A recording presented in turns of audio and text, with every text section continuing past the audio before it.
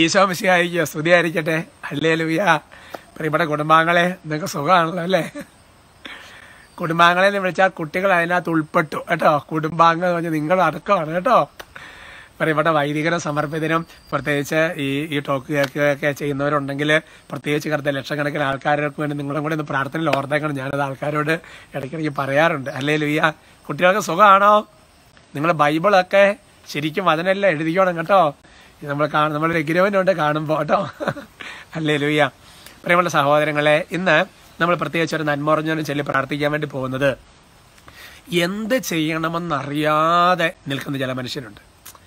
എങ്ങോട്ട് പോകണമെന്നറിയത്തില്ല എന്ത് ചെയ്യണമെന്നറിയത്തില്ല ഒന്നിനും ഒരു തീരുമാനം എടുക്കാൻ പറ്റാതെ ഒരു നാൽക്കവലയിൽ നാൽക്കവലയാണ് പേര് നാല് വഴിയെങ്കിലും ഉണ്ടെന്ന് ഇത് ഒന്നും അറിയത്തില്ല ഒന്നും ചെയ്യാൻ പറ്റാതെ നിൽക്കുന്ന ഒരുപാട് മനുഷ്യരുണ്ടെന്ന് ഞാൻ മനസ്സിലാക്കുക. അവർക്ക് വേണ്ടി നമുക്കൊരു നന്മറും ചൊല്ലി പ്രാർത്ഥിക്കാം. കിഴക്കൊരു നക്ഷത്രം ഉദിക്കും അവർക്ക് വേണ്ടി കർത്താവിന്റെ ആത്മാവ് എന്തെങ്കിലും ചെയ്യും. നമുക്ക് മധ്യസ്ഥം വഹിക്കാം.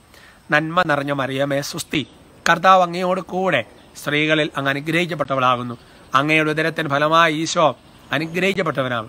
പരിശുദ്ധ മറിയമേ തമ്പുരാന്റെ അമ്മ പാപികളായ ഞങ്ങൾക്ക് വേണ്ടി ഇപ്പോഴും ഞങ്ങളുടെ മരണസമയത്തും തമ്പുരാനോട് അപേക്ഷിച്ചുകൊള്ളണമേ ആമേൻ. പ്രൈസ് ദ ലോൾ പ്രിയപ്പെട്ട സഹോദരങ്ങളെ ഇന്നത്തെ നമ്മുടെ വിഷയത്തിന്റെ തലക്കെട്ട് അടിസ്ഥാനമായിരിക്കുന്ന വചനം ഉൽപ്പത്തിയുടെ പുസ്തകം മുപ്പത്തിയൊന്നാമത്തെ അധ്യായത്തിന്റെ പന്ത്രണ്ടിന്റെ ബി ഭാഗമാണ്. അതിന്റെ ആദ്യ ഭാഗത്ത് എങ്ങനെയാണ്?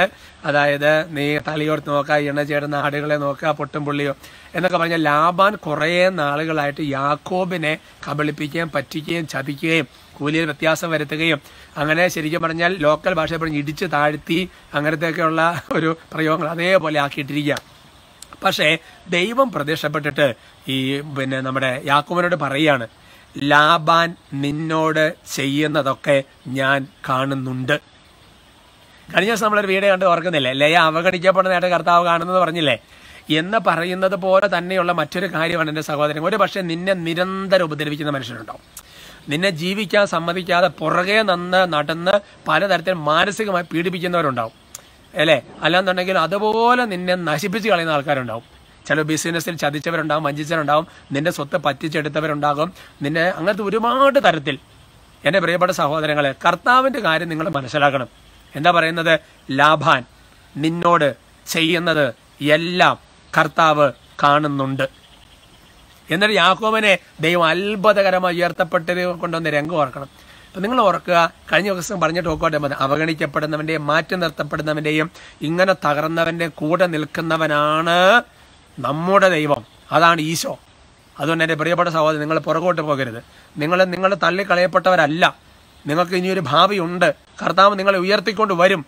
നിങ്ങൾക്ക് നിങ്ങളെ ആർക്കും നശിപ്പിക്കാൻ പറ്റിയല്ല. നിങ്ങൾ വചനത്തിൽ വിശ്വസിക്കുന്നു.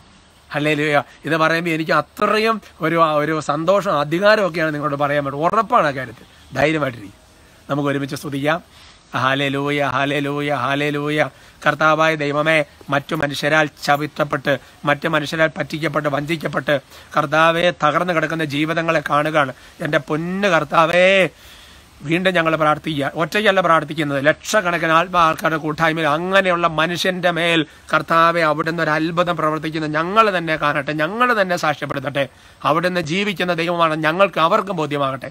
കർത്താവെ ഇവരെ പീഡിപ്പിക്കുന്ന എല്ലാ പൈശാചി ശക്തികളെയും യേശുവിന്റെ നാമത്തിൽ ബന്ധിക്കുന്നു വിട്ടുമാറട്ടെ.